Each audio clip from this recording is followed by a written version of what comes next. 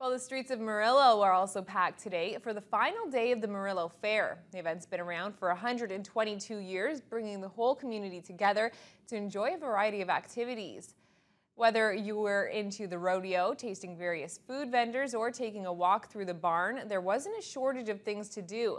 People have been flocking to the fair for years, and this year is no exception.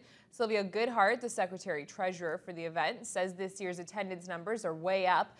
Goodhart attributes the success to some brand new entertainment provided along with tractor rides. She adds it's an opportunity brings to come meet up with friends. from the community together, and uh, it gives them a chance to come out and, and it's nice to, to visit your neighbor without uh, having to go and have coffee. You just come and your neighbor's next door to you, looking at the exhibits or whatever, and you can talk to them and compete against them. That's the best thing is competing against your neighbor for your ve- best vegetables and stuff. The event wrapped up with horse racing and antique tractor trailer awards.